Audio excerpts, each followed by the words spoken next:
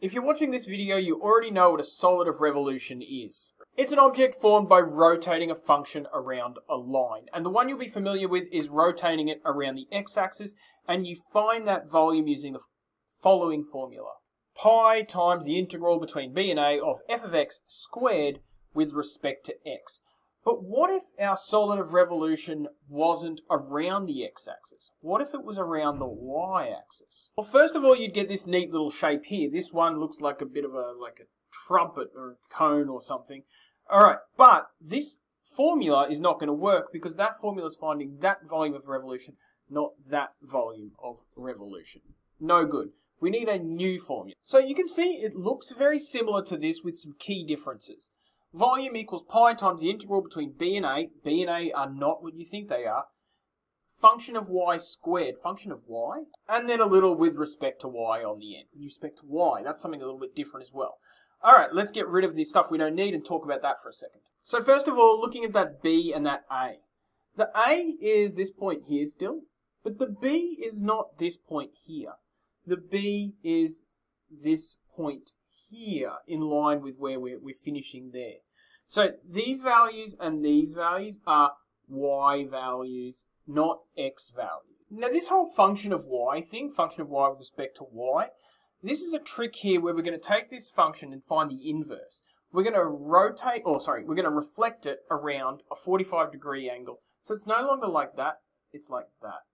And we'll actually be finding the area, or sorry, the volume around the x-axis which will be the same as the volume around the y-axis. So I'm taking it, turning it into that, and then finding that.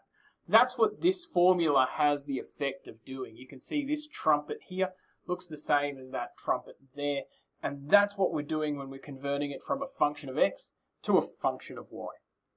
Let's do one. So if you saw my previous video on volumes of solids of revolution, you'll know we were rotating around the x-axis, this function, f of x equals root x. This time I'm going to take the same function, f of x equals root x, and rotate it around the y-axis and find that volume. Alright, so we already know our formula for that. Pi uh, times the integral between b and a of f of y with respect to y. Now, the a and the b values, you might think that's really easy. You'll say, right, 0 and 6, but you're only half right there, right? Because the a and the b values are not this value and this value, it's this value and this value right here. Right, so I can easily find that value because I know f of x equals root x, which means that f of 6 equals root 6. Alright, so I know that's it. So I can say that my volume is between this point, which happens to be 0, 0, so it is going to be 0 there, but then this point is root 6. So that's my A and my B values taken care of, but this f of y. It's a really easy idea. We just need to rearrange f of x equals root x so that we've got x isolated on one side and we've got a function with y as the variable inside of it.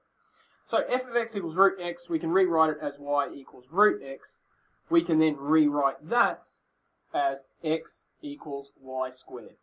Now I just might write that the other way around just so I can really show you, hammer home what's happening here.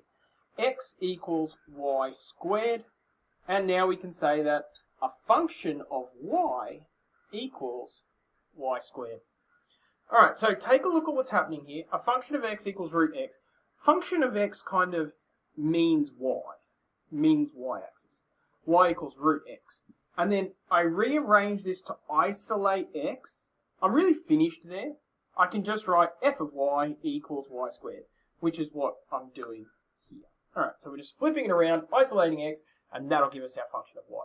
Now that I know that, and now that I know that, I can fill in my full formula there.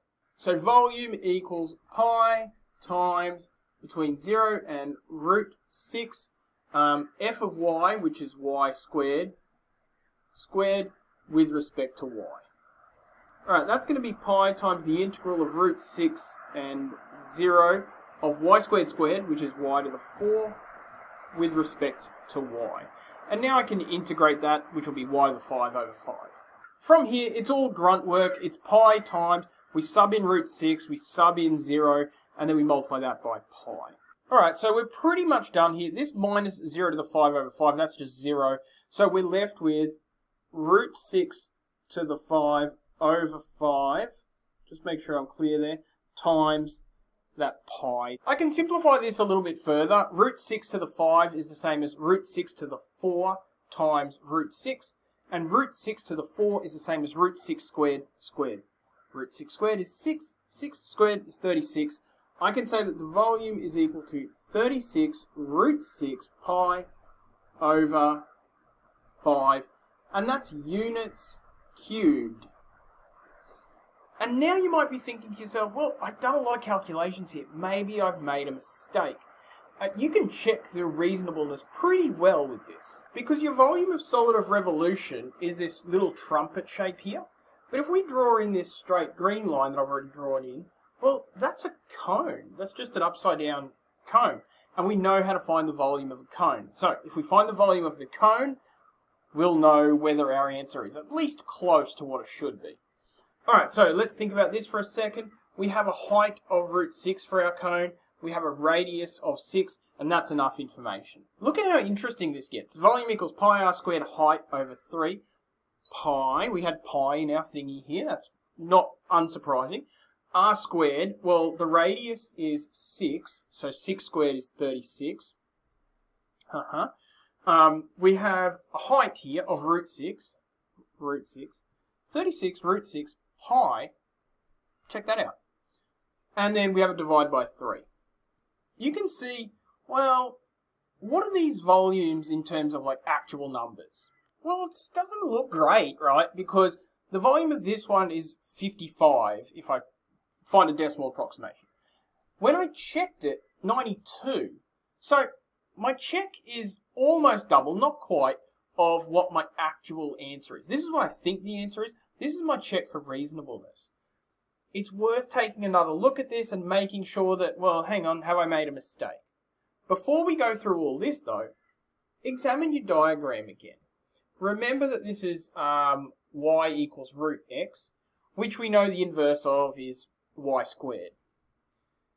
When you draw a parabola, it looks a little bit like that, right? Now, if I drew a straight line here, so there's my volume of solid of revolution, you can see there's a big chunk of it missing here, right? So we definitely expect the volume of solid of revolution to be smaller than the cone. And I think that this is going to curve enough that the volume is going to be almost, almost, not quite, a half. So I think I'm okay. All right, but it's definitely worth doing some sort of check like that. I feel like I've nailed it. Okay, that's volumes of solids of revolution around the y-axis.